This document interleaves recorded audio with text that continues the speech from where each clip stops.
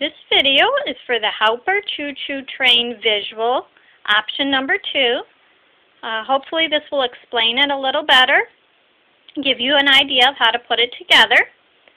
Well, first off, I printed the background. Uh, you will also need to print the clown picture. Um, to use it, that, you can use it as a puppet or a full page, whatever you choose to do and both of those will be left as full pages. Then I printed all the train engines, the clown's friends, the toys, and the clothes. Those are all on one page. I printed those off and shadow cut around each of them. Be sure to leave the uh, clown's friends, the toys, and the clothes as a group and shadow cut around them that way.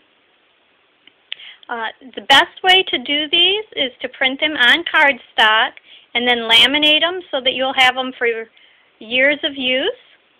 And the background especially is good to laminate because you will be taking the pictures on and off and it will keep your background from being damaged. There's a small line on here. For those for that line you will take your pictures as you're telling the story and you'll take the train engines and you'll stick on this little line. To do that, um, I just used some blue painter's tape and then rolled it over and stuck it on the back of each uh, engine and on the other figures. And that way you can just stick them on as you tell the story and then take them back off.